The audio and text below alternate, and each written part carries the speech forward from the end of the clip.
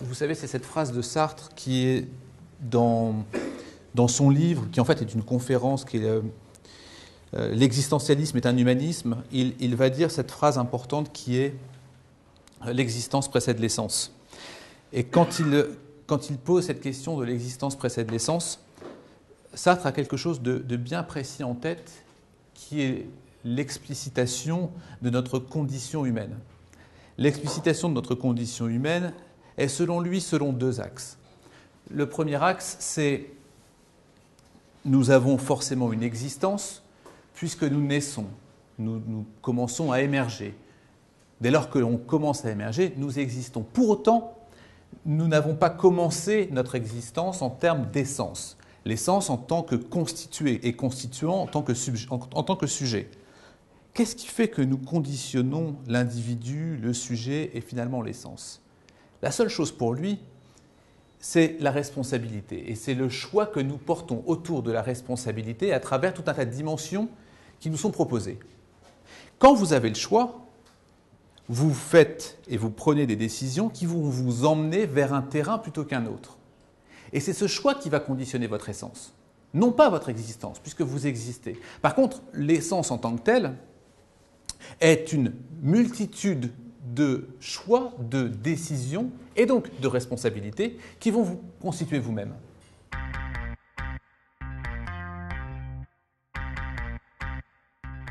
L'innovation n'est rien d'autre qu'effectivement cette création de valeur, cette question de la création de valeur, à travers un choix particulier qui va être qu'est-ce que je fais pour la société? Cette question euh, prend évidemment forme euh, sous, toutes les formes, sous toutes ces formes d'innovation. Et ce qui est intéressant, c'est que lorsque vous regardez euh, ce schéma de photos euh, qui arrivent, etc., on voit d'innovation partout. C'est-à-dire que tout le monde parle d'innovation. Vous pouvez regarder maintenant les produits, ce qui n'existait pas il y, a, cinq ans. Sur les, produits, nous avons écrit euh, innovation. On, a pu avoir nouveauté, on a pu avoir nouveau, on a pu avoir tout un tas d'éléments, mais le mot innovation devient de plus en plus un buzzword. C'est de plus en plus un mot à la mode pour pas dire un mot valise. Et tout le monde parle d'innovation. Il faut parler d'innovation.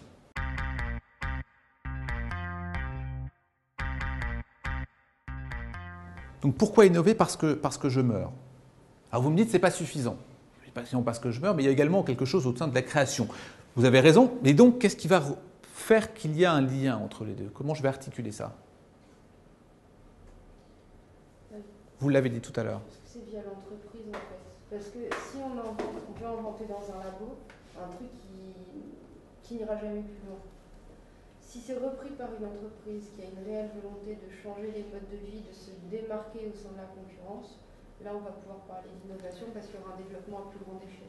Et un, un, développement à plus grande échelle, vous avez parfaitement raison, qui va créer de la valeur. Cette notion de création de valeur n'est pas forcément vraie dans l'invention. C'est-à-dire, et je parlerai par, de, de, de, de dimensions autres qu'économiques, je vous laisse, autres qu'économiques pour euh, l'innovation, parce que vous pourriez très bien avoir quelque chose de jouissif, quelque chose qui va résoudre votre problème, mais vous êtes tout seul dans votre chambre. Donc la question, c'est comment je fais pour basculer dans un système qui va être de l'innovation. Il y a un passage qui se fait entre l'un et l'autre.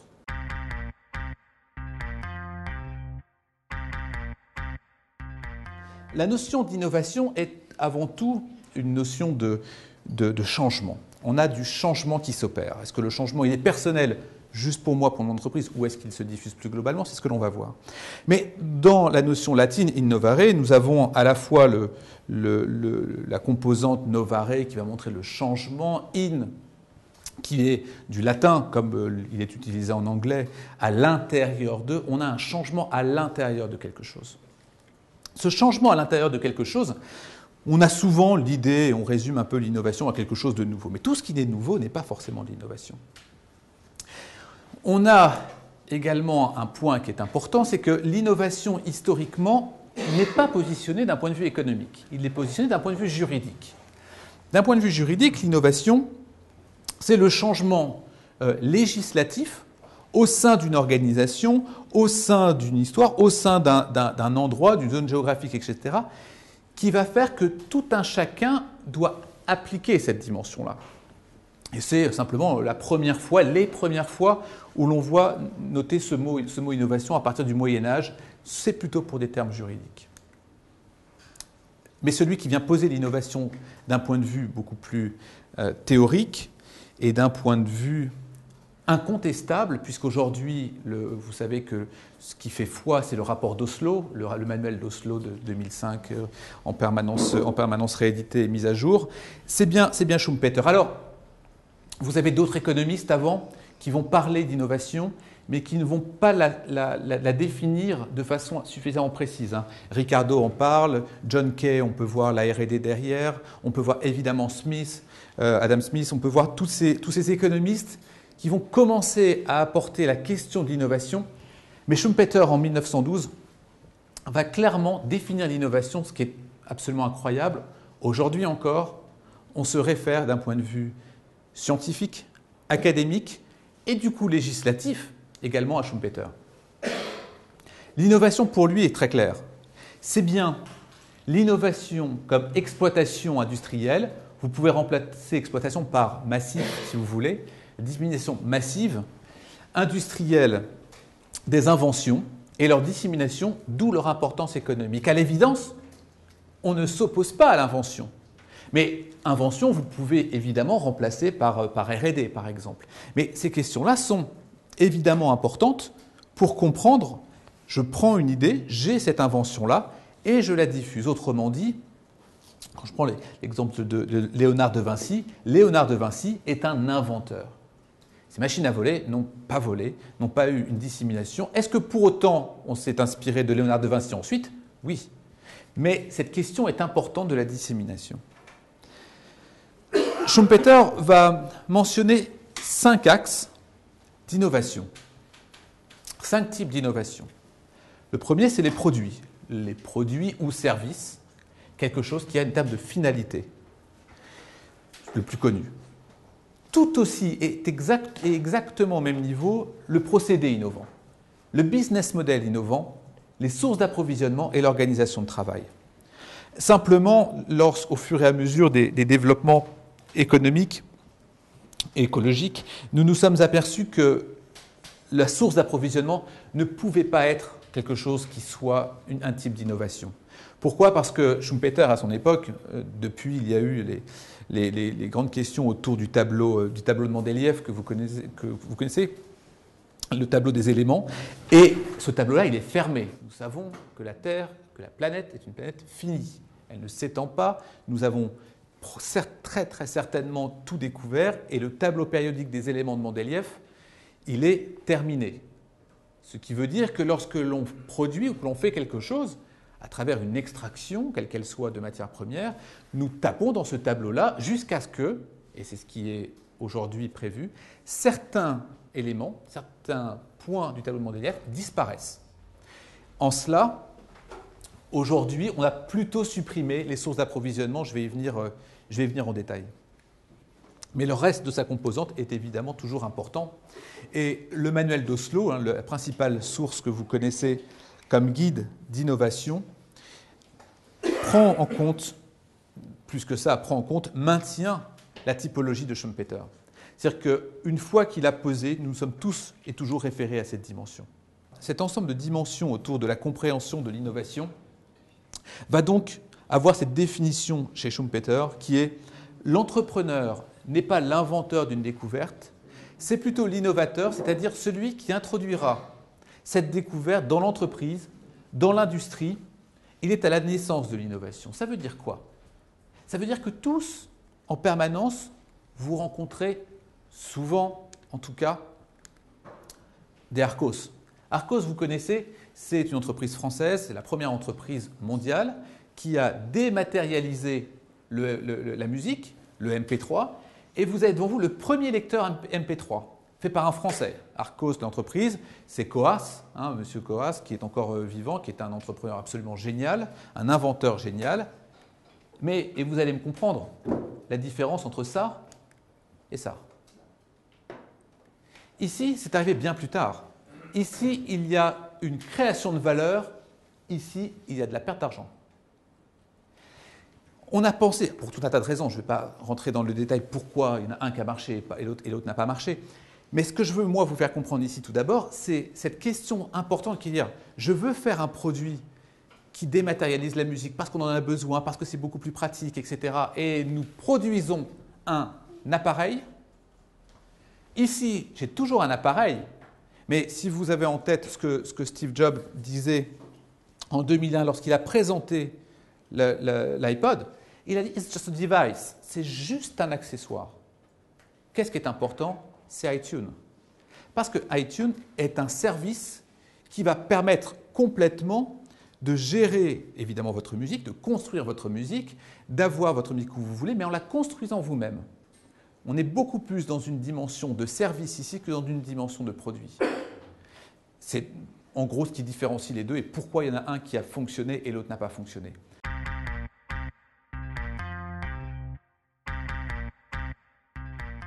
Peter Drucker le dit particulièrement bien, l'innovation, c'est un changement qui crée une nouvelle dimension de performance.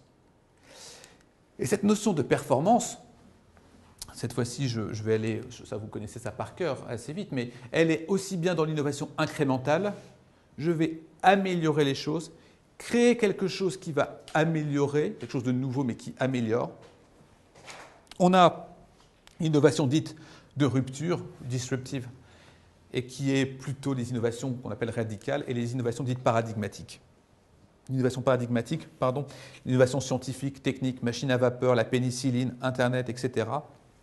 Pour que vous le compreniez bien, les innovations paradigmatiques, généralement, c'est celles qui changent le, mode de vie, qui vont changer la vie, quand je parlais tout à l'heure de, de, de, changements profonds au sein même des individus.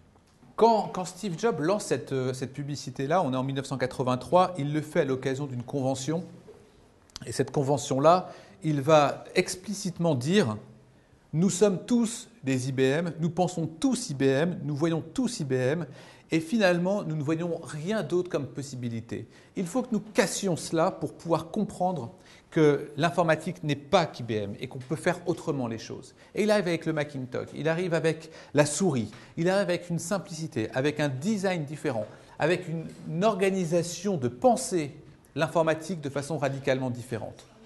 Il prend un, il prend un, risque extrêmement important en allant vers cette dimension-là. Il est quasiment tout seul, en tout cas ils sont très, très faibles en termes de, de nombre et d'investissement, etc. Il n'empêche qu'il va venir casser une convention. Il y a de l'innovation, que je nomme comme, comme mode de vie, mais il y a de l'innovation dès lors que l'on crée de la valeur et on a une reprise. Si on regarde par exemple Public Enemy, la façon de chanter, le rap en l'occurrence, aurait très bien pu rester dans un garage. Aurait très bien pu rester pour euh, des amis, euh, dans un quartier, dans son garage, et on chantait entre nous. C'est pas ce qui s'est passé.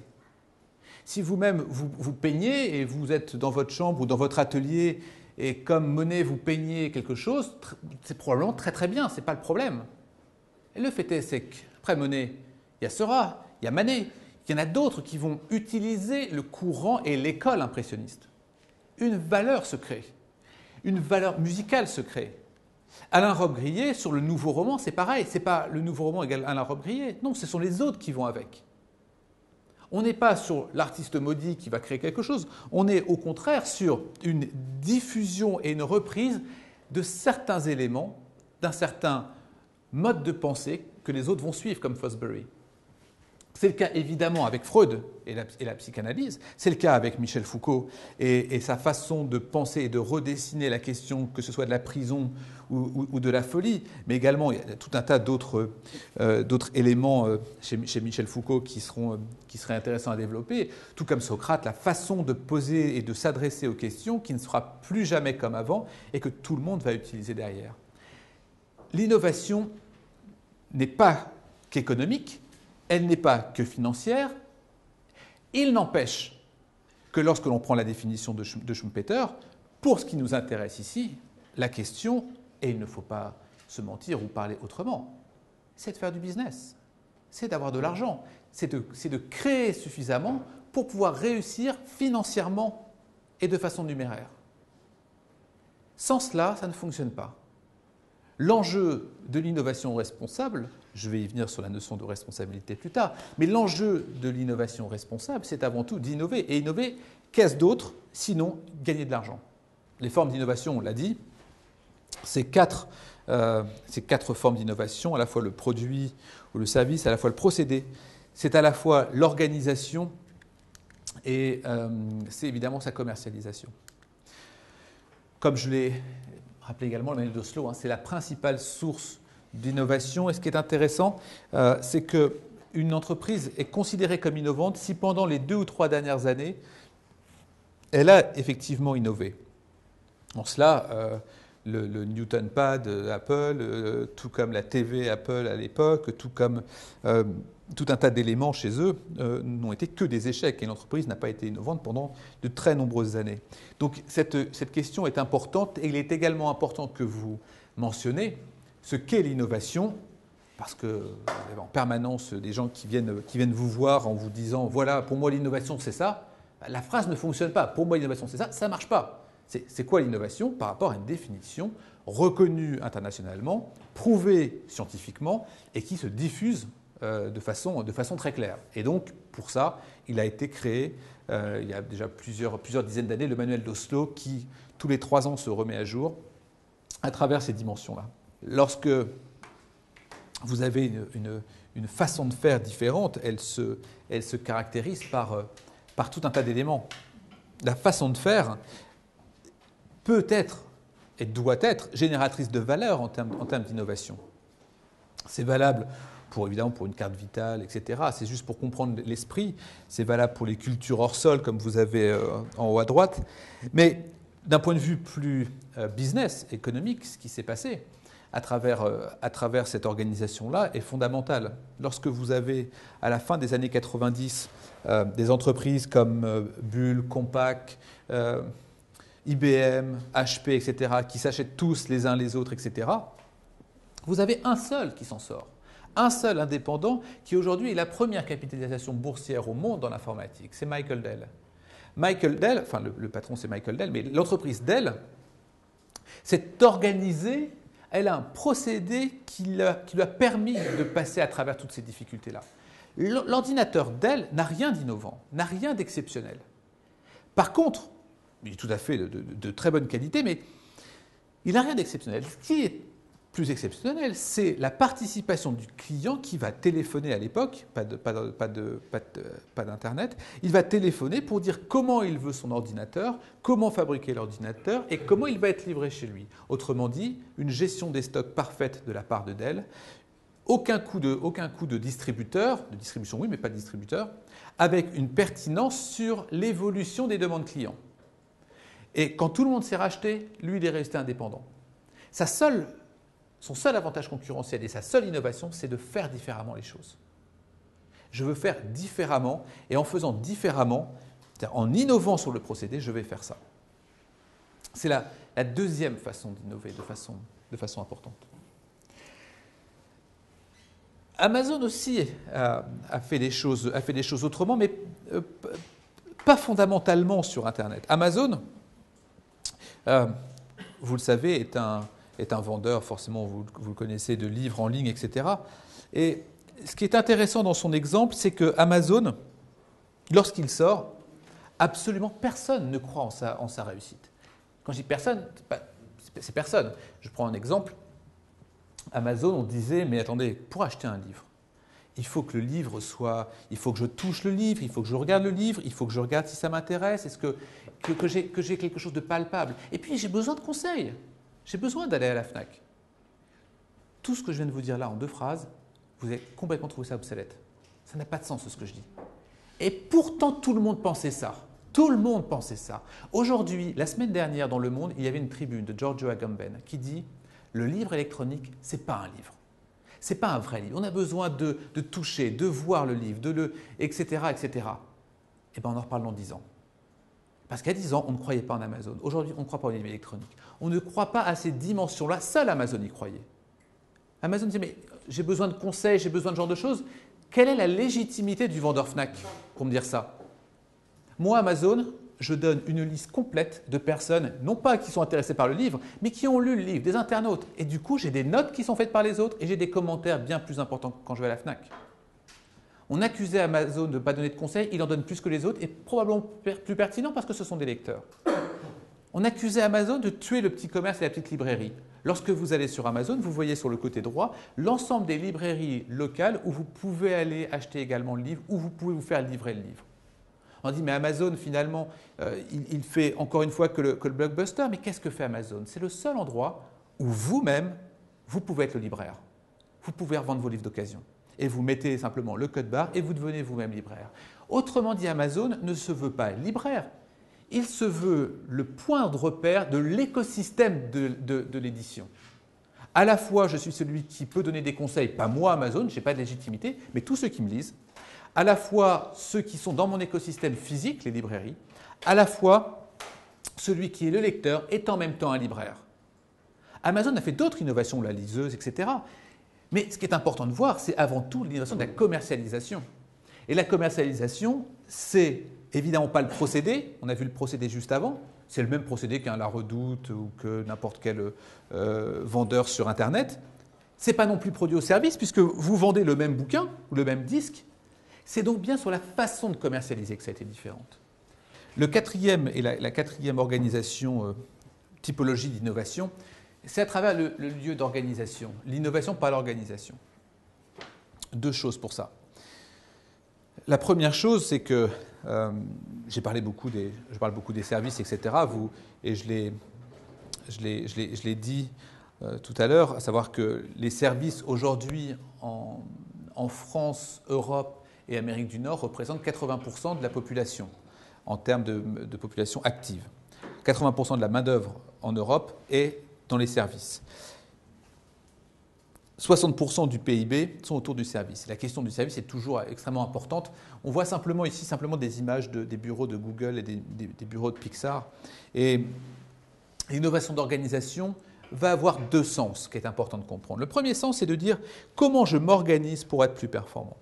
Je m'organise pour être plus performant, à l'évidence, en se focalisant sur les employés. Vous savez que ce qui est important dans le service, ce n'est pas tant de se focaliser sur l'employé que sur le client, pardon, que sur l'employé. Souvent, au contraire, c'est plutôt euh, je veux euh, me focaliser sur mon client, c'est le plus important, etc. Lorsque je me focalise sur, c'est une, vous connaissez probablement ça, une vieille euh, une vieille théorie qui a été depuis extrêmement pratiquée, qui est de dire si je me focalise sur l'employé, la première conséquence, c'est que l'employé va se sentir engagé. En se sentant engagé comme employé, je suis fidèle à l'entreprise. En étant fidèle à l'entreprise, je vais augmenter ma productivité, pas financièrement, mais tout simplement, je connais mieux mes clients, je connais mieux mes concurrents, je connais mieux mon travail, donc j'augmente ma productivité. Quand j'augmente ma productivité, j'augmente ma valeur. Vis-à-vis de qui? Vis-à-vis du client. Un client qui a plus de valeur est un client satisfait. Et un client satisfait est un client fidèle. Autrement dit, contre toute attente d'organisation et de pensée, qui va dire le marketing, c'est penser client, évidemment que c'est vrai. On pense client pour connaître ses besoins et, ce qu'il veut, veut, avoir euh, comme type de service. Mais dans l'organisation et dans le management, on doit penser avant tout employé. Vous connaissez ces livres célèbres, euh, notamment le, dernier qui a été traduit en français, Employees First, euh, Customer Second. Comment je pense d'abord mes employés, et en pensant d'abord mes employés, j'améliore évidemment mon, business model.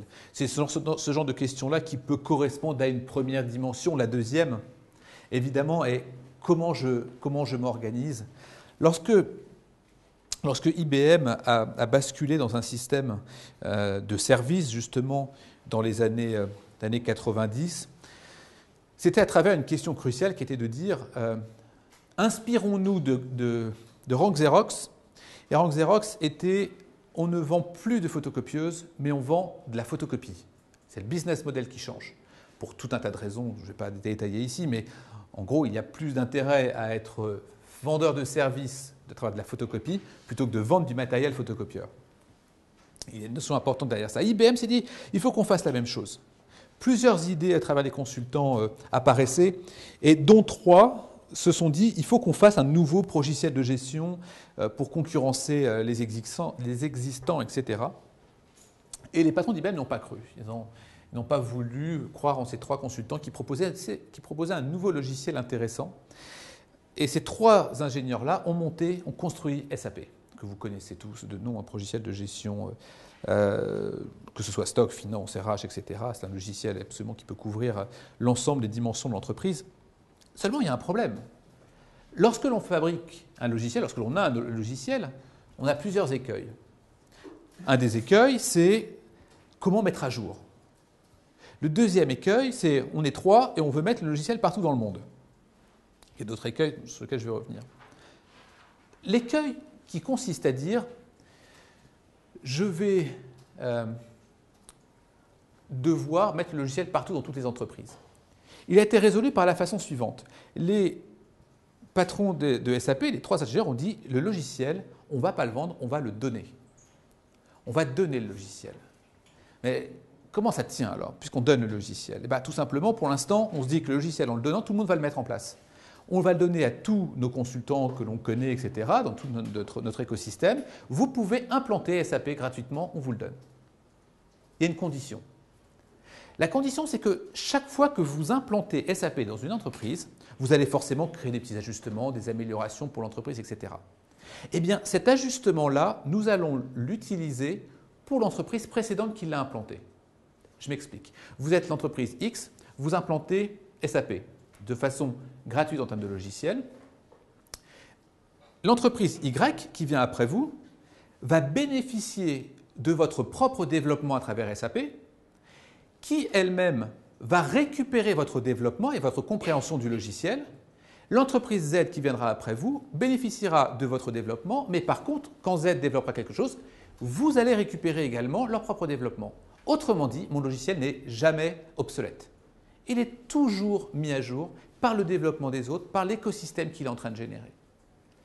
Ce qu'ils se sont dit, c'est que la façon dont on va facturer, c'est de leur passer à l'ajustement individuel par entreprise mais pas le logiciel. Depuis, ils ont vendu le logiciel, etc. Mais ce business model a toujours fonctionné, de dire c'est gratuit, la mise à jour se fait par la mise à jour des autres, et nous, on facture que le temps de présence chez vous. Cette, méthode-là est aussi de l'innovation d'organisation. On a bien deux types et deux compréhensions de l'innovation en termes d'organisation. À la fois l'organisation, je dirais, travail, méthode de travail, qui génère une véritable valeur, et une organisation sur la façon de faire aussi à l'extérieur de l'entreprise.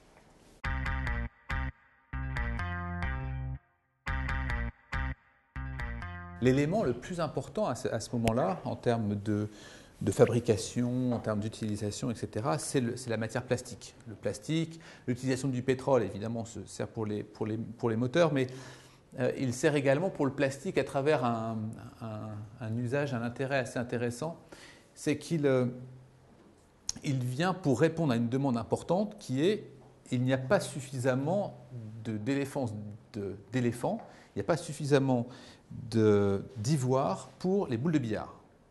Et on cherche à créer une boule, de billard euh, de la, même qualité que l'ivoire, et le plastique va répondre à ça. Comme il va venir répondre à la question de l'ivoire pour les peignes avec, euh, le, plastique, comme il va répondre évidemment aux chaises, etc., le plastique devient extrêmement important en termes d'utilisation. Et cette, dimension-là, ça va être l'aube des grands développements d'entreprises qui sont euh, euh, dans, la, dans la pétrochimie. Et également, à ce moment-là, on a une réponse à une question qui est très importante en termes de, de, famine, en termes de nourriture, en termes de, questions euh, de ressources basiques, qui sont celles des agriculteurs américains, qui chaque année voient leur récolte, pour certains d'entre eux, pas tous à chaque fois, mais pour certains d'entre eux, leur récolte disparaître. Parce qu'il y a une bactérie, parce qu'il y a un champignon, parce qu'il y a quelque chose qui va venir, euh, qui, va, qui va venir saccager leur récolte, tuer leur récolte et rendre leur récolte impropre à la consommation. Et à ce moment-là, pas avec ce, ce nom-là, mais, et pas en ces termes, mais l'équivalent de Monsanto va venir proposer une solution la solution, c'est évidemment arrêter les problèmes d'insectes qui viennent manger les récoltes, également les problèmes de bactéries, etc. Et on va sauver les récoltes. On va sauver les récoltes grâce à des pesticides que l'on va mettre pendant les récoltes. Grâce à ça, on va avoir à manger. Grâce à ça, on va pouvoir continuer. Rachel Carson euh, dit que les, oiseaux qui vont venir picorer sur les grains de maïs, de blé, etc., dans l'agriculture, vont prendre ces pesticides-là et risquent d'en mourir. Si les oiseaux mangent et meurent, alors nous avons un printemps où les oiseaux ne chantent plus, un printemps silencieux, Silent Spring.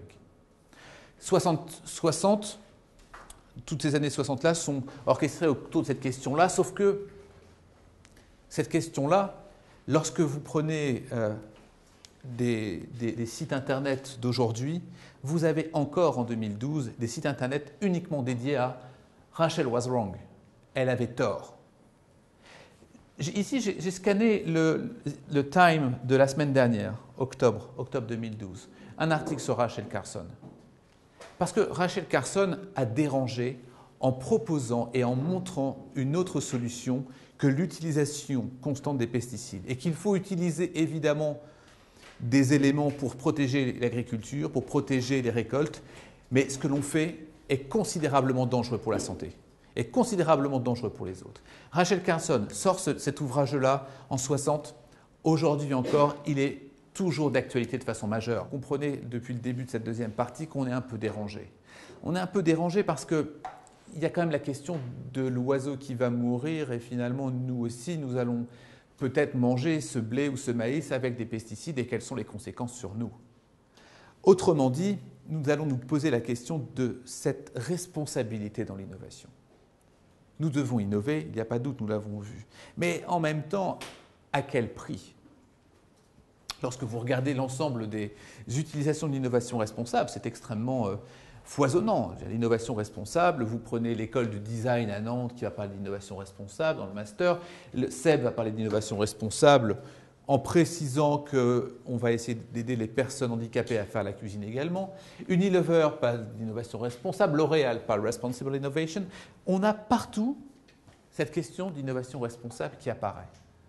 Je vous montrais l'innovation en tant que mot valise tout à l'heure. Dans quelle mesure l'innovation responsable est dans cette même dimension-là Elle est aussi académique, elle est aussi en publication, elle est en permanence portée, cette question d'innovation responsable. Mais qu'est-ce que l'innovation responsable? En 2009, il y a eu à la, Pitié-Salpêtrière à Paris le premier, ce qu'on a appelé le premier bébé médicament. Ce premier bébé médicament a été conçu de la, façon suivante. Un, des parents, peut-être pour certains cette histoire-là, mais des parents ont, eu une fille aînée qui a eu un problème, avait un problème génétique. La seule façon de sauver cette fille était qu'elle ait un petit frère ou une petite sœur et que l'on prélève des cellules souches. Les parents ont décidé d'avoir un enfant supplémentaire et à la naissance du petit frère, on a prélevé des cellules souches qui ont sauvé la fille. La question n'est pas faut-il faire ou faut-il ne pas faire. La question est pourquoi, comment et doit-on faire? Autrement dit, ça ne s'est jamais discuté d'un point de vue public et d'un point, de vue, euh, communautaire, ça s'est décidé dans un, dans un laboratoire avec euh, les parents, avec les médecins, avec l'ensemble de ces possibilités-là. Vous imaginez bien qui a le droit à ça et qui n'a pas le droit à ça? Est-ce que ce sont les plus fortunés? Est-ce que ce sont ceux qui sont plus proches de l'hôpital? Est-ce que, globalement, pour résumer, c'est l'hémisphère nord par rapport à l'hémisphère sud? Pourquoi nous aurions le droit de faire des choses que d'autres ne pourront pas, ne pouvons pas le faire. Est-ce que c'est ce que l'on veut de sélectionner les individus de cette façon-là? Est-ce que l'enfant qui va naître et, qui va naître pour cette raison-là, qui est de sauver la sœur, euh, a, un, sens autour de ça? Cette question est évidemment extrêmement importante, de fabriquer la vie, de cloner la vie, d'améliorer la vie, et n'est pas nouvelle. Dans la mythologie, que ce soit la mythologie grecque, la mythologie maya, on va toujours avoir cette nécessité pour l'humanité de progresser en permanence. Toute la science-fiction en tant que telle parlait déjà de ces dimensions-là la séparation de l'humanité en plusieurs rameaux incapables de communiquer, humain naturel, mécanisé, biologiquement modifié. Qu'est-ce qui s'est passé au mois d'août dernier au McDonald's des Champs-Élysées? Vous avez vu ça peut-être McDonald's des Champs-Élysées, un Canadien rentre dans le McDonald's et commande, un, menu. Euh, simplement, il est arrêté par la sécurité de McDo. Pour quelle raison? Il porte des lunettes qui sont en train de tout filmer. Il filme tout parce qu'il est aveugle et tout ce qu'il filme est renvoyé à son cerveau et du coup, il peut voir. McDonald's l'arrête parce qu'on n'a pas le droit de filmer l'intérieur d'un restaurant McDonald's. Mais c'est un prolongement de sa propre humanité, c'est un prolongement de, de lui-même, ces lunettes-là. Dans quelle mesure ça correspond ou pas à l'individu et à l'être humain les enfants du car, c'est pareil. La science-fiction nous apprend qu'il faut composer avec la nature humaine, qu'il se présente tôt ou tard un impondérable réduisant à néant les mesures de sécurité. Cette question-là va nous faire basculer dans ce qu'on appelle aujourd'hui le transhumain jusqu'au post-humain. Et beaucoup d'études, je vous renvoie à la Singularity University euh, en Californie, qui travaillent justement à montrer qu'on va basculer dans cette question du, du post-humain. Alors, cette, question-là nous, nous, interroge selon trois axes. L'environnement et l'écosystème, le vivant et ses avatars, la technique et le politique. Et au cœur de cette question-là se trouve la question dont j'ai parlé tout à l'heure, qui est la question de la capacité spirituelle d'un individu. Autrement dit, son travail de l'esprit, pour faire les choses plus simples. Donc je vais, parcourir rapidement ces, quatre éléments-là pour bien comprendre notre organisation de l'innovation responsable. Au XIXe siècle, nous avons un milliard d'habitants. Début du XXe, nous avons 2 milliards. Depuis 1975, chaque 12 ans, nous avons un milliard de plus. Or, vous avez bien en tête que la planète est une planète finie, c'est-à-dire que nous ne pouvons pas avoir plus de ressources qu'elle ne produit déjà. Comment donne-t-on à manger à ces individus-là? Comment est-ce que l'on vit tous ensemble? D'autant plus que tous les éléments qui nous permettent de vivre, de faire, de progresser, etc., diminuent. Vous avez les dates d'arrêt ici de toutes les matières premières. Ce point-là est important. En 2010, l'Union européenne classe 14 matières premières d'une importance critique pour sauvegarder les sources d'approvisionnement indispensables à son industrie. L'antimoine, le beryllium, le cobalt, le gallium, etc., etc.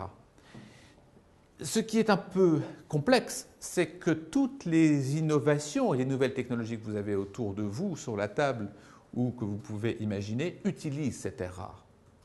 Quand on a 5 millions d'iPhones qui sont vendus en quelques heures, euh, ils utilisent toutes des terres rares. Si nous avons une, volonté, et tout un tas de, philosophes autour de l'écologie disent il faut nous savons avoir des panneaux solaires, nous savons les produire, les panneaux solaires, il faut que nous ayons des produits solaires pour basculer, changer d'économie. Ce serait une erreur grave. Il est beaucoup plus polluant d'avoir, d'utiliser des matériaux, des terres rares pour produire des panneaux solaires le bon équilibre est-ce qu'il faut entre justement le nucléaire, entre l'éolienne, entre les, photovoltaïques, etc. Mais que le photovoltaïque serait une erreur grave parce que nous allons taper justement dans ces terres rares.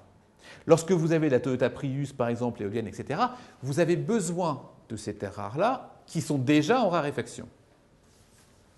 La répartition d'autant plus des terres rares sont effectivement inégales les unes entre elles d'un point de vue géopolitique, cela pose évidemment de problèmes entre notamment la Chine et le Brésil qui possèdent ces terres rares. Un tiers de l'énergie est utilisé à produire l'énergie. Vous avez, 2010, la consommation mondiale d'énergie a augmenté de 5%. La Chine est devenue le premier consommateur d'énergie de la planète. Lorsque vous regardez un article, l'article du, du, Monde il y a quelques, hier soir, hier soir ou avant-hier soir, il y avait la question que les pays en voie de développement se fichent pas mal de ces questions d'environnement. Comment vous pouvez dire à un Chinois, c'est pas grave que tu n'aies pas de réfrigérateur chez toi? Il y en a 1,7 milliard de Chinois. Qu'est-ce que l'on fait quand ne serait-ce que la moitié veulent avoir un réfrigérateur à juste, titre? Évidemment que ça va augmenter. Évidemment, la quantité de gaz à effet de serre, effet de serre piégé, évidemment, euh, va, va avoir pour conséquence une planète qui se réchauffe. 11 des 12 dernières années, parmi les 150 dernières, sont les 12 dernières années les plus chaudes. La pollution de la mer, la forêt qui enferme des milliards de tonnes de CO2 et qui se déforeste, tout ça, ce sont des conséquences qui sont complexes et qui sont pas étrangères au comportement humain. Pensez à Copenhague où le budget lobbying des pétroliers a été multiplié par 3 à ce moment-là. Donc on peut parler de Copenhague et de ses risques et de ses ambitions, mais en même temps, vous parlez de la même façon de Claude Allègre sur l'imposture climatique. Ce n'est pas grave, chacun a une liberté d'expression très importante. Le problème, c'est ce que l'on en fait et ce que l'on en comprend. Ces questions-là, elles sont d'autant plus cruciales que l'Union internationale pour la conservation de la nature, une organisation qui a plusieurs dizaines d'années, qui est extrêmement scientifiquement importante, personne, probablement autour de la table, en a déjà entendu parler. Par contre, on a tous entendu parler du bouquin de Claude Adègre. Et ces questions-là montrent bien qu'il y a 40 000 espèces aujourd'hui qui sont, parmi ces 40 000-là, 16 000 pardon, qui sont menacées d'extinction. Soit près de 40%, un mammifère sur 4, un amphibien sur 3, deux végétaux sur 3, un oiseau sur 8. Ces questions-là d'environnement, c'était le premier pilier, est composé, est à mettre en perspective avec le second, qui est le technique et le politique. Le technique et le politique est d'abord une conséquence sur notre volonté d'aller toujours de plus en plus vite. Le ZEST, qui est en train d'être construit par EADS, un avion fusée, mène le Paris-Tokyo en 2h30. L'infiniment grand, nous pouvons mettre, pas dans la 80, c'est une erreur, la 380, jusqu'à 800 personnes à l'intérieur d'un avion. L'infiniment petit, nous savons aller et travailler jusqu'aux nanotechnologies et les nanoparticules. Très grand, très petit, très vite. Cela est d'autant plus complexe que nous cherchons à contrôler ou à vérifier les individus. Ce n'est pas nouveau non plus. Jérémy Bentham, avait, le philosophe anglais, avait montré cette question du panopticon, c'est-à-dire comment au centre vous avez la possibilité de contrôler un certain nombre d'individus. Absolument théorique. Sauf qu'aujourd'hui, quand vous regardez Londres, il y a 65 000 caméras qui filment Londres en continu. Vous avez 850 millions connectés sur Facebook. 80%, 80 types de fichiers en France, dont 45% sont illégaux. Il y a deux semaines, vous avez probablement vu ça dans les, médias aux États-Unis, comment l'État fédéral a demandé à Twitter de donner les informations sur ceux qui ont participé à Occupy Wall Street. Donc finalement, vous avez utilisé et finalement, vous êtes contrôlé, surveillé. Ce qui est contrôlé et surveillé, c'est ce qu'on va appeler en 1975, à travers Michel Foucault, le biopouvoir. Aujourd'hui, on vous dit quel vaccin vous devez avoir. On vous dit les préservatifs que vous devez utiliser, les 5 fruits et les rouges que vous devez utiliser, 5 fruits et, légumes que vous devez manger, les 20 minutes de marche que vous devez faire par jour. On essaye de construire ce que Marcus appelle l'homme unidimensionnel. On essaye d'avoir un idéal normatif. On essaye de vous construire une façon d'être, une façon de penser et de produire l'individu. Cette technique, cette, question évidemment, est intimement lié à l'innovation, mais à la responsabilité pour aller jusqu'à ce livre également fondamental qui est The Brave New World, le, en, français Le meilleur des mondes d'Aldous Huxley, qui va bien montrer comment créer les bons personnages, la bonne façon de penser, ou alors vous pensez également à George Orwell 1984, dont tout à l'heure on a pu faire allusion avec, euh, avec Apple. C'est donc le deuxième pilier qui est extrêmement crucial, le technique et le politique. Le troisième, c'est l'avatar et c'est le vivant. Aujourd'hui, vous pouvez quasiment reconstituer votre visage, vos organes, vous pouvez toutes les possibilités de greffe. Et vous avez une compréhension extrêmement intime, grâce aux neurosciences, du fonctionnement de votre cerveau. On bascule dans un système où l'on va reproduire le vivant. Si ce n'est le reproduire, le réparer, la greffe, ou alors comme je disais, le premier bébé, médicament. Et comment on va faire fabriquer le vivant jusqu'à partir de principes totalement inertes et rendre vivant, c'est ce qu'on appelle la biochimie. Où là, on va avoir une construction radicale du vivant. Toute la science-fiction est finalement, euh, est finalement maintenant un peu en retard par rapport à tout ce que l'on sait faire. Ces trois dimensions sont importantes et ne peuvent être finalement calibrée, comprise, mise dans un dispositif qui est grâce à cette capacité spirituelle. Cette capacité spirituelle est complexe. Elle est, je vais la schématiser pour ne pas rentrer euh, dans, une, dans, une, dans une digression trop importante, mais de faire comprendre qu'aujourd'hui, les organisations pensent il faut surtout protéger, vous allez comprendre l'ironie de la, de la remarque, prendre soin du salarié à titre personnel. Autrement dit, tous les programmes qui existent gouvernementaux également dans les entreprises du work-life balance, de faire attention à la vie privée et la vie professionnelle, parce que quand vous êtes chez vous, vous ne devez pas consulter vos mails, vous ne devez pas penser au travail, on doit vous protéger. C'est quoi les conséquences? Eh bien, tout simplement, quand vous êtes au travail, vous ne pensez pas à votre vie privée. Vous êtes là pour bosser, vous êtes là pour continuer à innover, vous êtes là pour continuer à faire croître l'entreprise. À quel risque? Le risque tout simplement de ne pas penser à la cité quand vous innovez, de ne pas penser citoyen quand vous innovez, de ne pas penser finalement à qui vous vous adressez. L'innovateur, je l'ai dit en introduction, n'est pas un individu comme les autres. Il est celui qui change la face du monde à petite échelle ou à plus grande échelle. Mais c'est lui qui le fait, ce n'est pas les autres. Cette question-là, évidemment, rend les choses, les choses complexes lorsque l'on force cette, dichotomie entre les deux. L'innovation, vous ne pouvez pas le lundi matin, lorsque vous arrivez chez vous, à votre bureau, dire bon, alors ce matin j'innove, donc je prends ma feuille et j'innove. Ça ne marche pas comme ça. Forcément, l'innovation, c'est quelque chose qui est intime, qui est lié à soi et qui en permanence, vous y pensez quand vous allez au cinéma, quand vous allez dans la rue, lorsque vous êtes au restaurant, lorsque vous mangez, en permanence, vous êtes habité par l'innovation. On ne se dit pas, je vais réfléchir que de telle heure à telle heure. Ça ne marche pas comme ça. Donc, on ne peut pas aller à, une séparation finalement entre, entre la vie privée et la vie professionnelle. Pas pour l'innovateur, ça ne marche pas. Ces questions-là se résument à travers cette phrase importante. Nous ne connaissons pas les conséquences d'une innovation, de leur impact à leur lancement dans un contexte nouveau.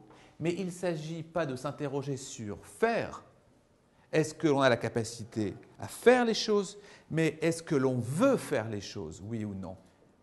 Nous ne connaissions pas, il y a quelques années, la structure de l'ADN. Nous ne savions pas comment faire les choses. Techniquement, nous n'y arrivons pas. C'est pour ça que les mythes et les légendes, on en parle, mais finalement, n'avaient pas trop de risques. D'autre part, la position importante au global des églises et des religions empêchait de toucher le vivant empêchait de jouer, si l'on peut dire, avec ça. Aujourd'hui, nous avons à la fois une connaissance technique extrêmement importante et une faiblesse de la religion, justement, qui n'est plus aussi présente qu'avant. La conséquence est qu'on fait les choses. On tente, on travaille, on joue à l'alchimiste avec ces notions-là. Il est important de voir, vous connaissez ce, schéma d'innovation, que finalement, ici, vous êtes dans euh, l'avantime, vous êtes dans la, la vous êtes dans les inventions qui ne fonctionnent pas. Il y a toujours ce qu'on appelle le gap qui va vous faire basculer dans l'innovation et qui va finalement partir dans un sens qui peut-être ne fonctionnera pas. Alors, qu'est-ce qu'on fait? Vous n'êtes pas venu pour rien parce que je vais vous donner la solution. La solution, elle est toute simple. Je vais vous la donner. Il suffit, c'est dans un, livre majeur que vous devez connaître et lire absolument, qui est dans Winnie l'ourson.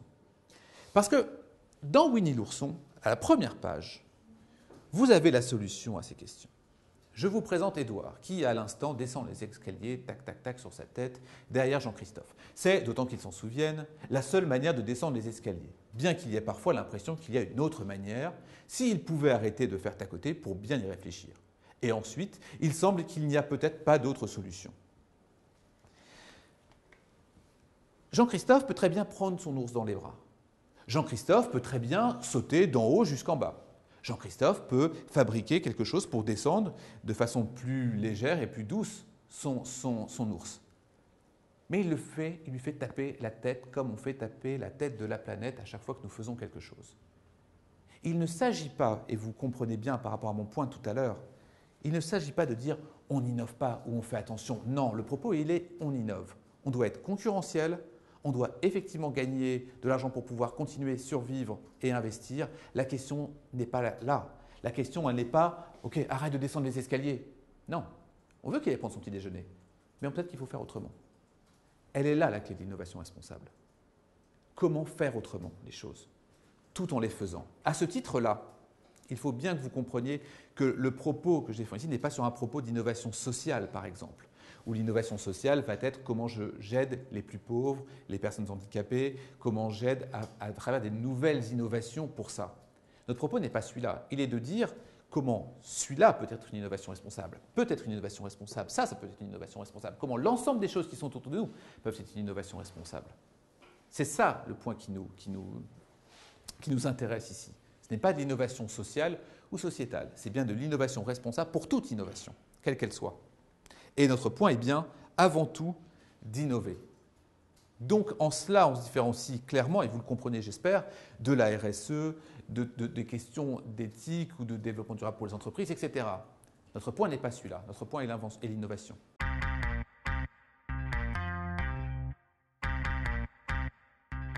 Il faut donc concilier la première partie avec les enjeux majeurs de la société, qui sont ces trois axes posés par une question importante autour de l'esprit, l'individu, parce qu'à l'évidence, l'innovation ne sort pas d'un ordinateur comme la responsabilité ne sort pas d'un ordinateur. C'est bien l'individu qui va travailler là-dessus. Pour ça, la vraie réponse, j'aime beaucoup Winnie l'ourson, mais c'est un peu léger parfois, ça ne suffit pas. En 1987, rapport Brundtland, euh, Gro Harlem Brundtland, dit qu'il y a effectivement un développement durable à penser. Ce développement durable, trop souvent pensé comme développement en termes d'environnement, se base en fait sur trois notions. L'environnement, le social et l'économique. Ce sont les trois éléments qui font que le développement durable est un développement qui répond aux besoins du présent sans compromettre la capacité des générations futures de répondre leurs. Vous connaissez ça par cœur. Deux concepts sont inhérents, besoins et plus particulièrement les besoins essentiels des plus démunis, mais pas seulement. L'idée des limitations de l'état de nos techniques et de notre organisation sociale impose sur la capacité de l'environnement à répondre aux besoins actuels et à venir. Pourquoi? Parce que nous n'avons qu'une seule et unique biosphère pour nous faire vivre. Chaque communauté, chaque pays poursuit son petit bonhomme de chemin, soucieux de poursuivre, de prospérer sans tenir compte des éventuelles conséquences de ses actes sur autrui.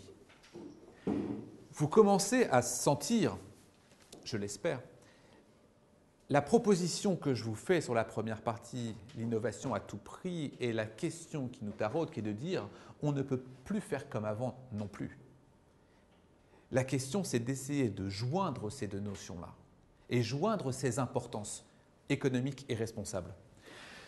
En cela, d'aucuns consomment les ressources de la planète à un rythme qui entame l'héritage des générations à venir, d'autres, bien plus nombreux, consomment peu, trop peu, connaissent une vie marquée par la faim, misère noire, famine, mort prématurée, etc. Brundtland va aller jusqu'au détail du détail en disant il faut que lorsque vous avez une innovation à mettre sur le marché, que vous considériez l'ensemble des éléments environnementaux, sociétaux et économiques. Vous avez tout un tas d'exemples ici que je ne vais pas parcourir en détail, mais tout simplement le déchet et le recyclage, diversité des habitats, impact sur le travail des enfants, impact sur la balance commerciale, etc. Et donc Brundtland montre ça en 87 avec une pertinence euh, extrêmement euh, pointue et qui en plus aiguë, pardon, et qui en plus de ça sera diffusée partout. Toutefois, il y a un problème. Le problème, il est que aujourd'hui, je suis un fabricant d'armes à feu. Euh, je ne vais pas utiliser les enfants pour fabriquer. Je vais faire attention à la pollution que ça peut causer euh, mes armes à feu. Je peux faire attention évidemment aux critères économiques, c'est-à-dire à mon impact par rapport à mes concurrents, etc. Et ça marche. Et pourtant, je fabrique des armes à feu. C'est la même chose pour le tabac, d'ailleurs. C'est la même chose pour le pétrole, d'ailleurs. Nous ne pensons pas la finalité, nous pensons quelles sont les conséquences de la production que nous faisons. Donc, le rapport Brundtland ne suffit pas à poser des questions qui restent fondamentales, pour plein de raisons. Nous sommes en 87, écrit en 85, 86, etc. L'explosion de la connaissance scientifique et technologique entre 87 et aujourd'hui est considérable. C'est pourquoi il nous faut poser des fondements d'innovation responsable à travers trois questions. La première chose, c'est on doit interroger, les réponses à apporter aux besoins des individus. Est-ce que parce que les individus veulent des armes à feu qu'il faut en faire? Est-ce que parce que des individus veulent avoir des relations sexuelles avec des mineurs en Thaïlande qu'il faut organiser des tours comme c'est fait? Est-ce que, plus léger, un étudiant ne veut pas faire ses devoirs, on va faire un site internet faitmesdevoirs.com Si on répond toujours aux besoins des individus, vers quelle absurdité on peut tomber? Des armes à feu à l'activité sexuelle illégale jusqu'à faire les devoirs pour les autres. Ce n'est pas parce qu'il y a un besoin et une demande qu'on doit y répondre.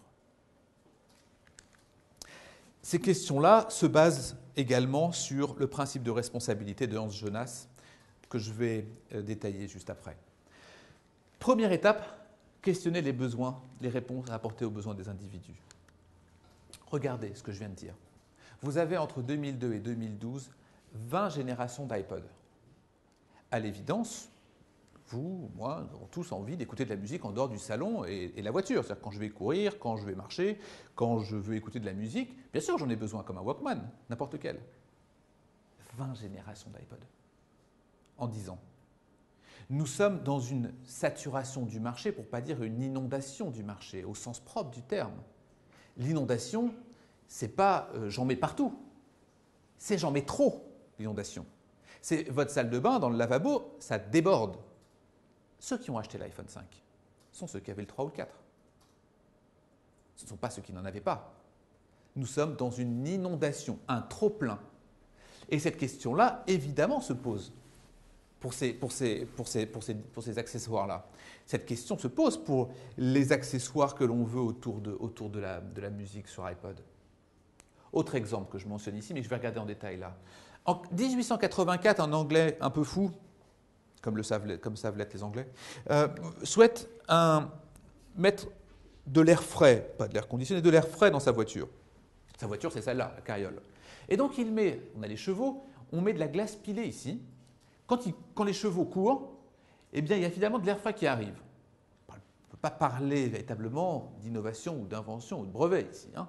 Euh, les brevets tombent en 1953, enfin tombent, existent en 1953-1957 à travers Cadillac qui va inventer, puis donc innover grâce à ça, euh, l'air conditionné de la voiture qui sera à la fois dans le coffre, à la fois sur le côté. Bref, ça va changer un peu d'endroit dans la voiture au fur et à mesure des années pour avoir l'air conditionné. À l'évidence, ces années-là, on ne va pas se poser la question est-ce que, oui ou non, il y a des impacts sur l'environnement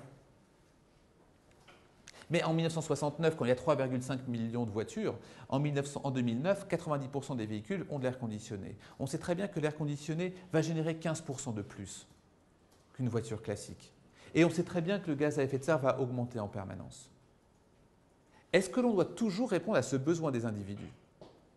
Il ne s'agit pas de dire qu'on n'a pas d'air conditionné dans, une ambulance, dans des camions de pompiers, des voitures de police, dans les bus, par exemple, dans le métro, par exemple, les transports en commun, dans un taxi également, pourquoi pas. Mais toutes les voitures individuelles ont-elles besoin de ça? Lorsque l'on connaît l'impact A-t-on besoin de répondre à ça? La deuxième question est, à propos des, impacts, des, impacts, directs. Pardon. Lorsque euh, on a des impacts, directs, on parle de conséquences que va avoir l'utilisateur. Il y a quelques, mois de cela, on avait une étude qui a montré qu'il y avait probablement un risque de maladie lorsque l'on avait le, le téléphone portable pour les hommes euh, près des organes génitaux, c'est-à-dire dans la poche ou près du cœur, on ne savait pas exactement quelles étaient les conséquences pour ça. L'étude a plutôt montré qu'il y avait des risques. Qu'a dit le responsable de, l'association des, opérateurs téléphoniques? Il a dit attendons de voir, faisons une autre étude.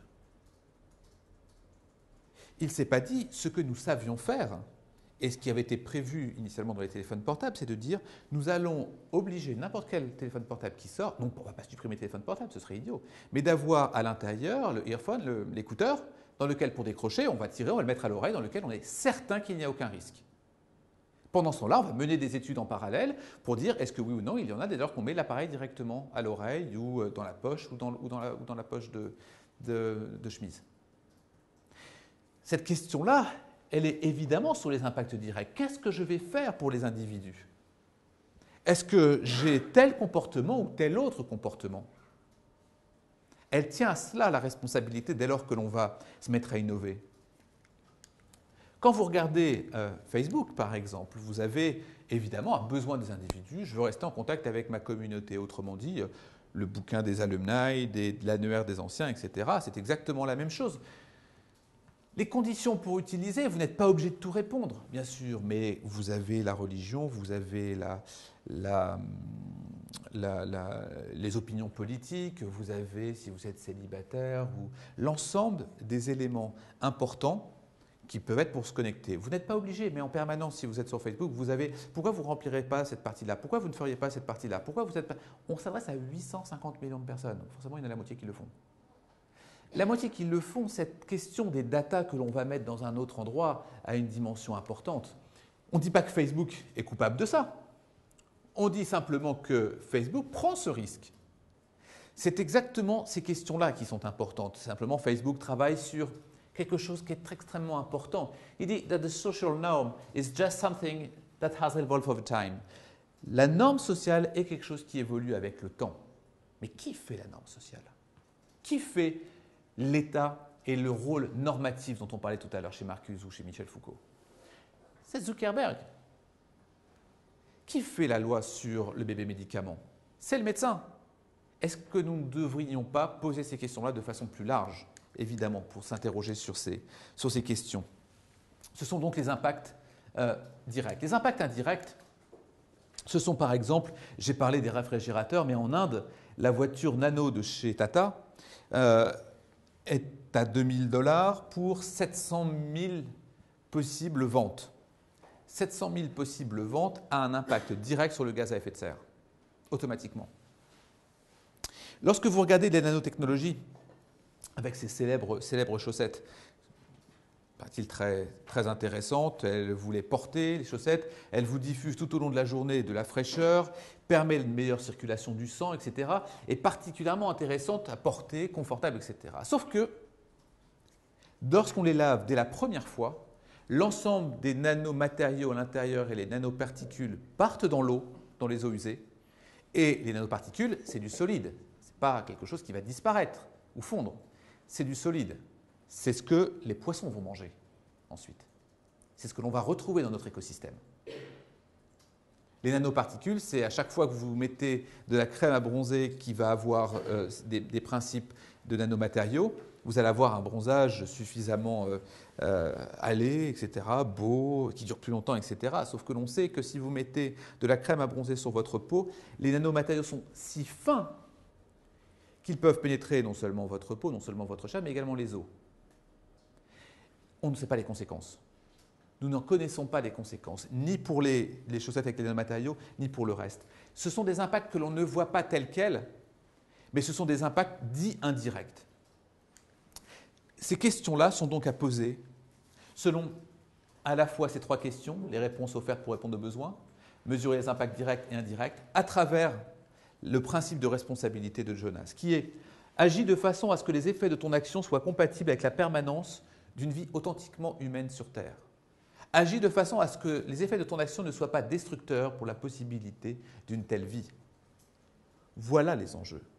Oui, nous devons innover, oui, nous avons ces questions-là à nous poser, et bien sûr que les éléments du rapport Brundtland que j'ai mentionné tout à l'heure sont cruciaux, et sont ici mais ne sont pas suffisants. On doit les questionner en fonction des trois axes que l'on a vus et le principe de responsabilité de Jonas.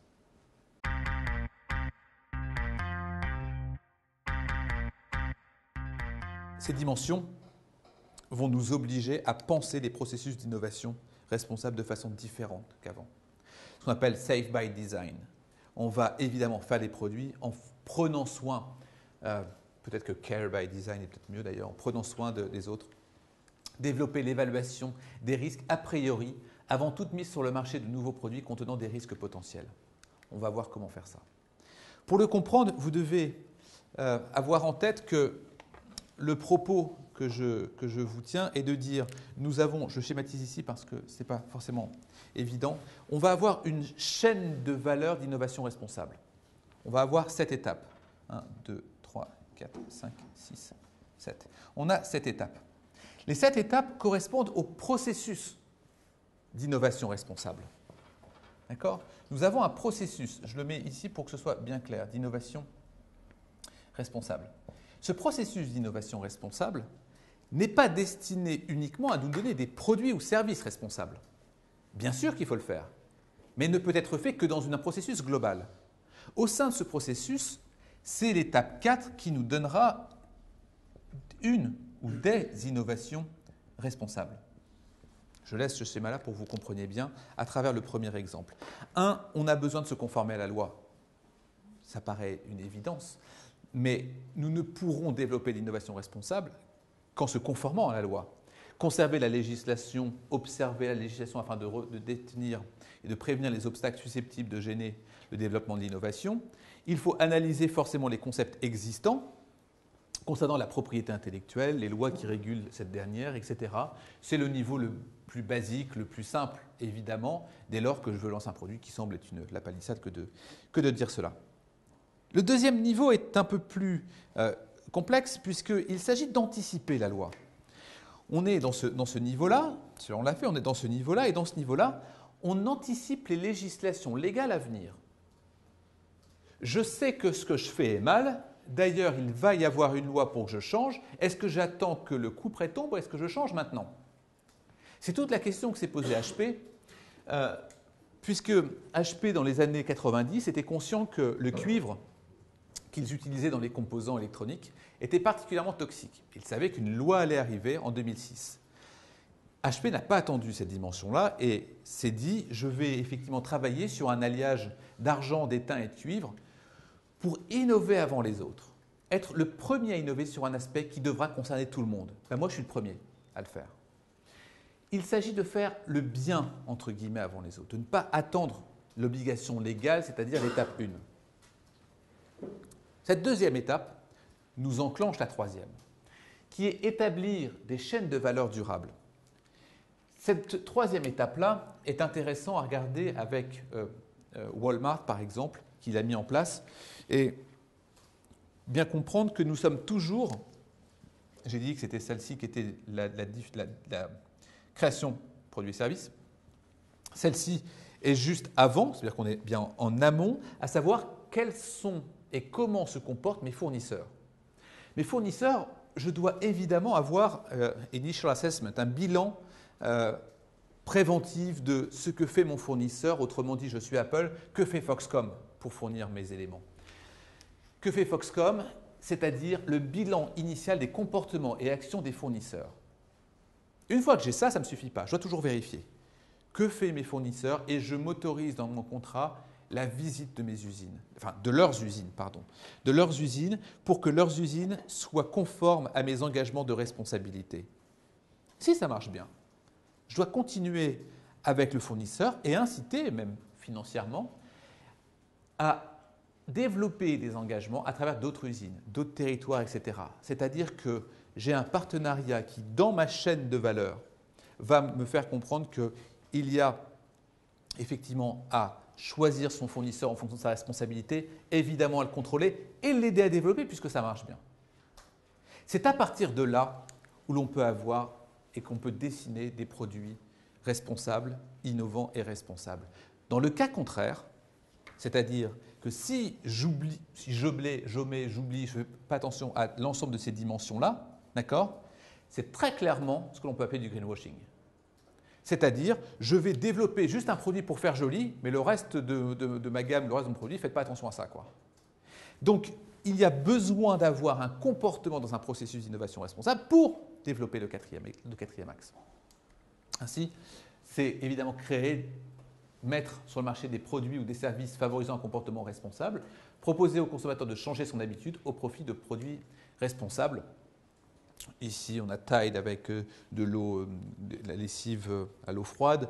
On a les Ecopass de chez Sodexo qui vont inciter à acheter plutôt des produits écologiques, bio, etc.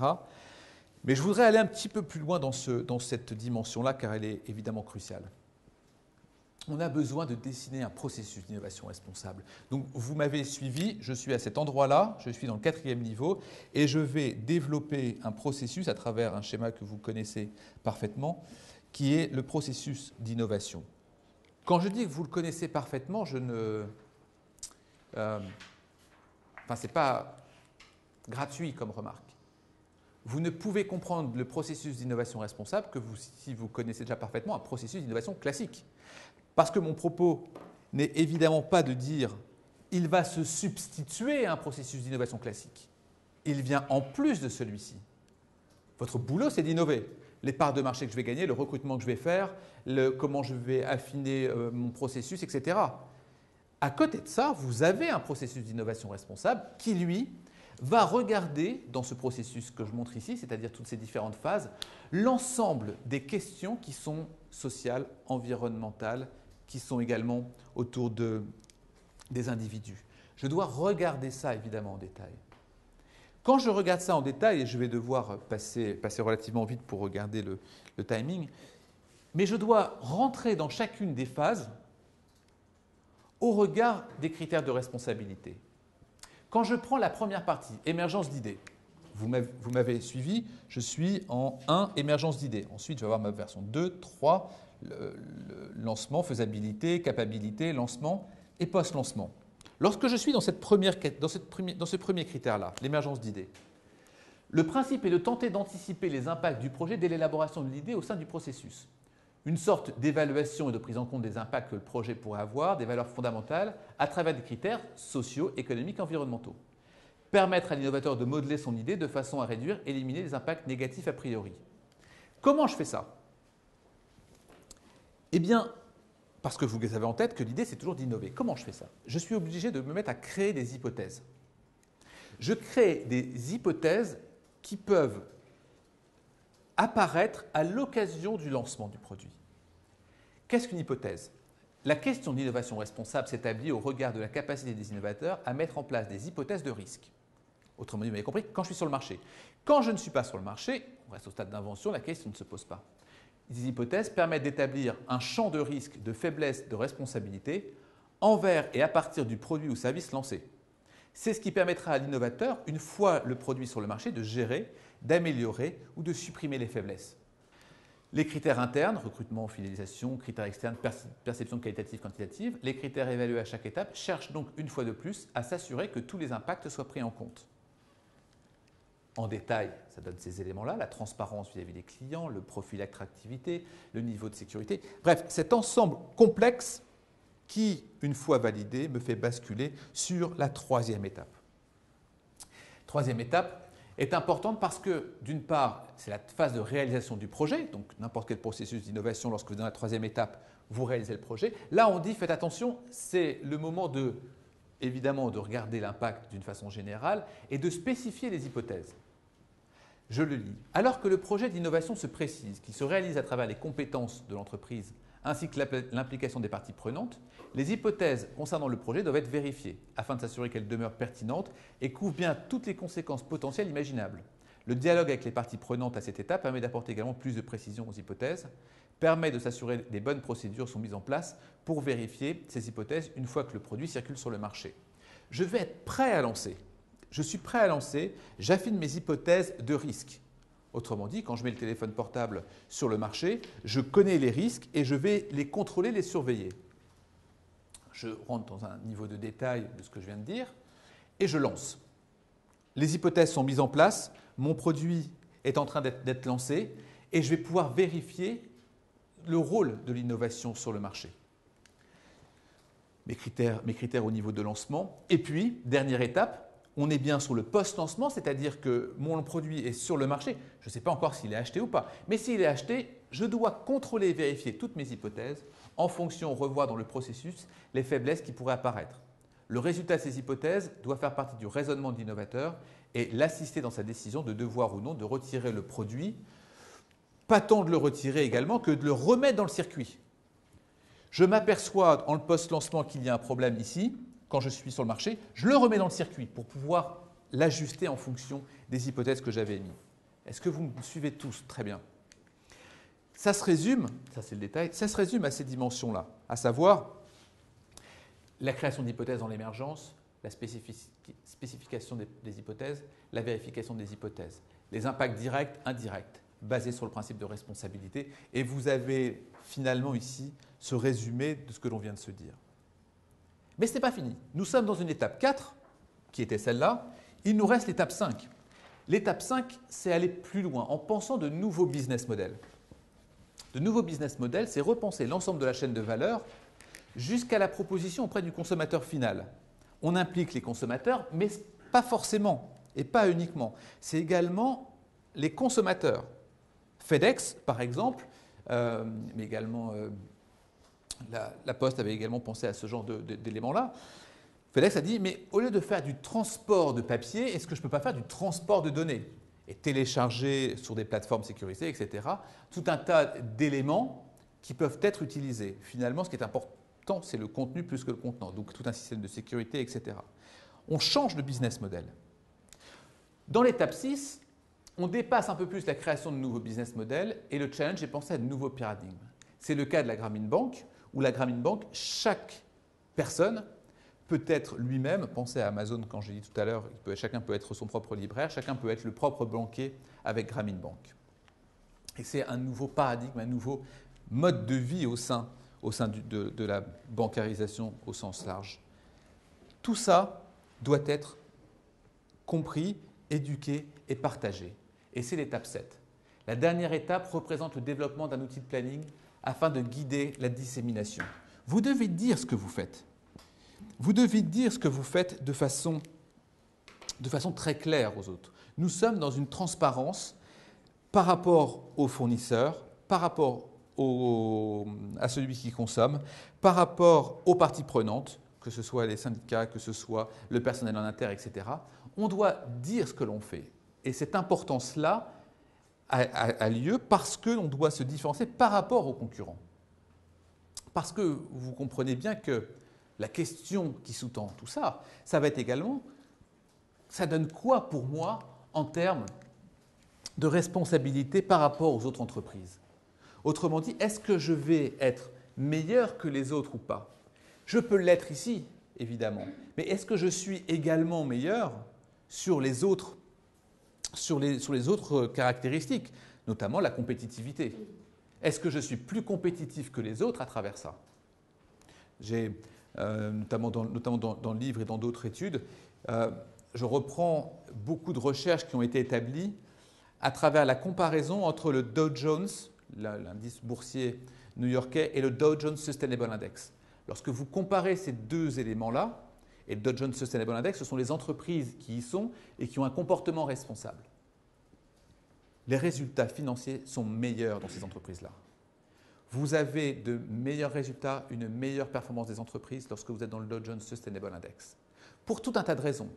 Ça va de l'engagement des employés à la façon dont les consommateurs se comportent avec vous, en passant par les structures financières. Il y a tout un ensemble qui fait que l'entreprise est plus profitable, plus performante, et pourtant, c'est ce que je vous dis depuis le début de la deuxième partie, nous avons fait les choses différemment.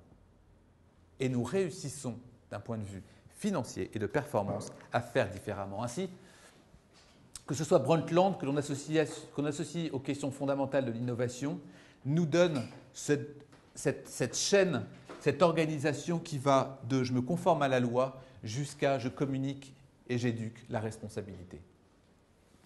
Ces questions-là sont le processus d'innovation responsable dans lequel je vais, euh, je suis allé un peu vite sur les, sur les différents critères parce qu'après on rentre vraiment dans le détail du détail, c'est-à-dire qu'est-ce que je vérifie à tel endroit de mon schéma d'innovation à la fois dans son processus d'innovation responsable, à la fois, quand je descends dans la quatrième partie, le produit ou service innovant et responsable.